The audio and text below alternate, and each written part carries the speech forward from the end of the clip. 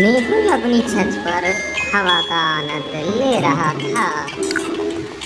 Shri Thomas ने एक party रखी हुई थी, जिसकी बहुत तेज आवाज़ आ रही थी। इसलिए मेहुल अपने घर वापस चला जाता है और सो जाता है। अगले दिन मेहुल जब उठता है तो उसको पता लगता है कि मिस्टर थॉमस की किसी ने हत्या कर दी है। वह श्री थॉमस के घर जाता है और उन्हें फर्श पर पाया, मरा हुआ पाता है। घर में सारा सामान इधर उधर पड़ा हुआ था। ऐसा लग रहा था कि मिस्टर थॉमस और मर्डर करने वाले के बीच हाथापाई हुई हो। थॉमस मिस्टर थॉमस का अपने हत्यारे से झगड़ा हुआ हो। वह कल रात पार्टी में आए हुए सभी लोगों को बुलाता है और उनसे पूछताछ करता है। तभी उनमें से एक ने कहा कि सिर्फ़ थॉमस ने कल रात बहुत सारी शराब पी ली थी और सभी के साथ काफ़ी लड़ाई और गाली गलौज हुई। इसलिए सभी लोग उनकी पार्टी को छोड़कर अपने अपने घर चले गए थे। हमने उनकी हत्या नहीं की है। लेकिन इन तीनों में से एक झूठ बोल रहा था। क्या आप अनुमान लगा सकते हैं कि कौन झूठ बोल रहा है? बताओ बताओ। तभी मेहुल को ध्यान आता है कि उसने वह जिस दिन थॉमस के घर आया हुआ था तो वहाँ पर उसकी दीवार पर कुछ खून लगा हुआ था। और जो उसने तीसरा व्यक्ति जो बुलाया था, उसके सर पर भी चोट लगी हुई थी और खून निकल रहा था। तो उसने दोनों का सैंपल चेक किया और उससे पता लगता है कि तीसरे व्यक्ति ने थॉमस का खून किया है, वह उसे तुरंत गिरफ़्तार कर लेता है। चलिए दोस्तों, आगे बढ़ते हैं। मेहुल अपने शहर से बाहर गाड़ी चला रहा था, वह कहीं जा रहा था। तभी उसे रास्ते में सड़क के किनारे फुटपाथ पर एक आदमी बेहोशी की अवस्था में पड़ा हुआ दिखाई देता है। वह अपनी कार से उतरकर उस आदमी के पास आता है। और उसकी जाँच करने लगता है कि वह ज़िंदा है या मृत है।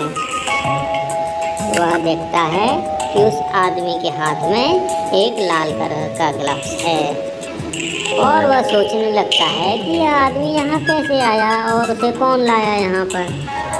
लेकिन तभी वह मेहुल वहाँ पास के एक टोल बूथ बूथ में जाता है और वहाँ की सीसीटीवी फुटेज को चेक करवाता है और उसमें उसने पाया कि एक सड़क से तीन कारें निकली हैं अभी तक। और मेहुल ये जानकर उन तीनों कारों को वापस बुलाता है और उनसे टोल बूथ पर लौटने के लिए कहता है। वह अंदर से बारी बारी से सभी कारों की जाँच करता है। उसको पहली कार में कुछ खाने पीने की और बैग, बुक्स, बैग, ट्रॉफी, ये चीज़ें दिखाई देती हैं। और उसको दूसरी कार में बैग, शूज़, कैप, यही इत्यादि सारी चीज़ें दिखाई देती हैं। तभी वह तीसरी कार को चेक करता है। तो उसमें उसने देखा कि उसमें केवल खिलौने ही खिलौने हैं। अब आप बताइए, उसने तीनों कारों को चेक कर लिया है। अब हत्यारे की पहचान कैसे करेगा? बताइए बताइए। तो चलिए, मैं आपको बताता हूँ। उन तीनों कारों में से वह वह दूसरी कार वाले को पकड़ेगा, क्योंकि तो दूसरी कार को करीब से देखें। उसके अंदर उसने वही लाल दस्ताना देखा, जो वह मृत पड़े हुए एक आदमी के एक हाथ में था। इसलिए उसने जिस आदमी ने ये पहना हुआ था, उसने उस व्यक्ति की हत्या कर दी और उसके सड़क पर फेंक दिया और उससे एक लफ्ज ले आया। इसका मतलब यही कार वाले ने उसकी हत्या की है। चलो चलो। लेकिन और उनका परिवार समुद्री तट पर पिकनिक मनाने के लिए आए हुए थे और मजेदारी से अपना समय बिता रहे थे। लेकिन तभी उनकी खेलते समय उनकी गेंद पेड़ों के पीछे चली जाती है और झाड़ियों में छुप जाती है। लेकिन का छोटा बेटा गेंद की तलाश में जाता है और इधर उधर ढूँढने लगता है। तभी पीछे से आकर किसी ने के लड़के छोटे बेटे का अपहरण कर लिया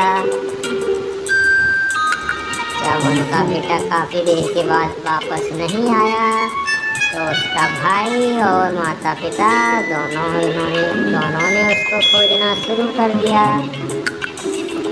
इतनी में ही मेहुल वहाँ पर आ जाता है और उनसे पूछता है कि क्या हुआ। तो उसको सारी घटनाएँ बताते हैं।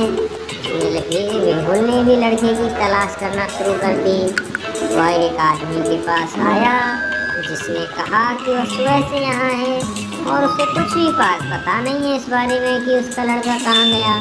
लेकिन तभी मेहुल की नज़र दूसरे आदमी पर पहुँचती है और मेहुल उस आदमी के पास जाता है और उससे पूछा कि वह समुद्र कि उसका लड़का कहाँ गया?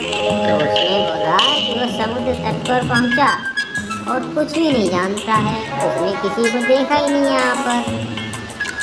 मेहुल को एक आदमी और मिला, तीसरा आदमी, जिसने यह कहा कि वह सिर्फ़ समुद्र तट पर पहुँचा और कुछ भी नहीं जानता है। वो बस अभी अभी यहाँ पर आया हुआ है। बताइए में से किसने के बेटे का अपहरण किया है, बताइए बताइए कमेंट सेक्शन में ज़रूर बताइए।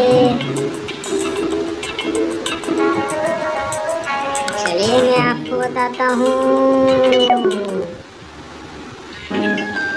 मिस्टर टिम और उनका परिवार सभी एक ही तरह की टोपी पहने हुए थे और जिसने अपहरण किया था, वह भी उस उसमें से एक रंग की टोपी पहना था। इसका मतलब ये है कि अपहरण हुआ करने वाले ने ही उस लड़के की टोपी निकालकर पहनी हुई है। तो इनमें से तीसरे नंबर के व्यक्ति ने टीम के लड़के का अपहरण किया है। धन्यवाद दोस्तों। आपका सब्सक्राइब करने में क्या जाता है? कुछ नहीं जाता ना? फिर करो ना यार। बेल आइकन दबाओ यार। लाइक करो वीडियो को। चैनल सब्सक्राइब करो यार।